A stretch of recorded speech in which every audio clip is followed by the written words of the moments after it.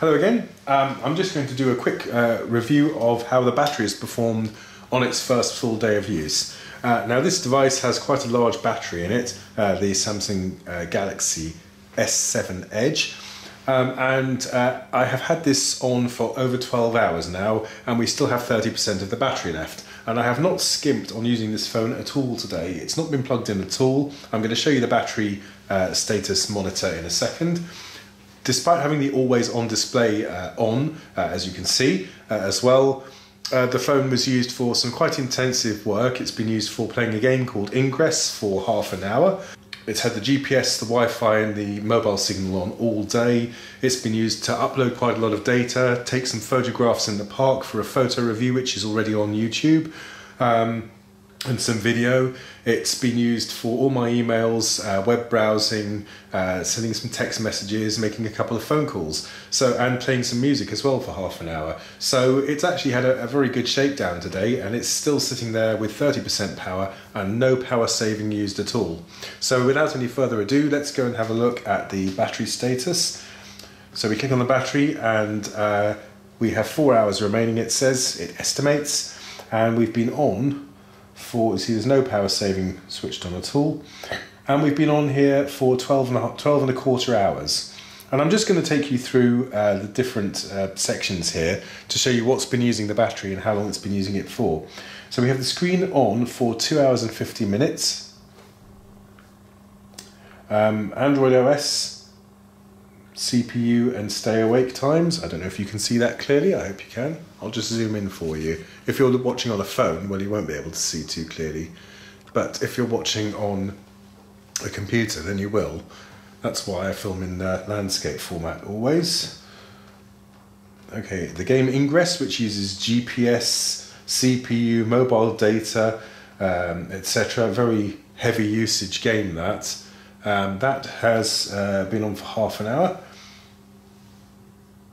although it's had the GPS on for one and a half hours apparently. Google Play services. I did leave an awful lot of apps on by mistake, although uh, Marshmallow is supposed to switch off uh, or sleep, deep sleep apps that you're not using. But I'm just showing you what, what the phone has used. Uh, 44 minutes of CPU total time just for the operating system. OneDrive, um, has run for an hour. A lot of data uploaded by Wi-Fi. Phone standby.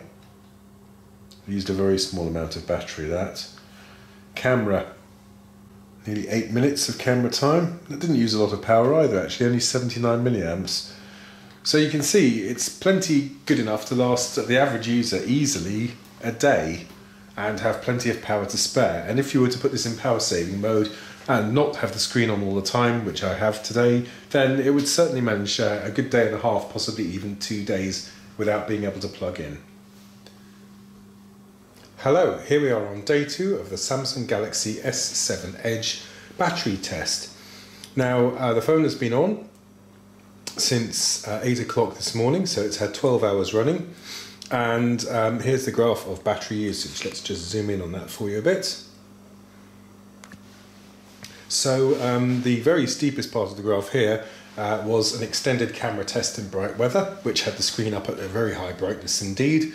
So you can see we've been running uh, without charging for 12, almost 12 and a half hours now. Um, I have given the phone a thorough shakedown today.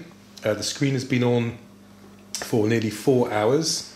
Don't know if you can see that there. Let's bring that down a bit. So the screen's been on for nearly four hours. Um, I had the camera running for half an hour.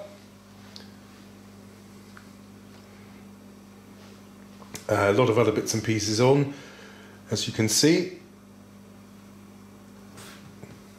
So it's done quite well, really, when you consider this would never be the normal use that I put the phone through in a day. Uh, it's actually survived 12 hours and it says it has a remaining um, two hours and 48 minutes to go. And if I were to put this on, uh, say, ultra power saving mode, having now got down to 20% battery, I'd have another six hours to go. So actually, uh, very good battery life on this. I'm quite impressed with that. An all day battery um, even when under heavy use, and still only the second full charge the phone has had. Of course, lithium batteries do improve with several charges, and the maximum capacity won't be reached until it's had about seven or eight charges. So, another week or so, and I might be getting another hour or two out of the battery.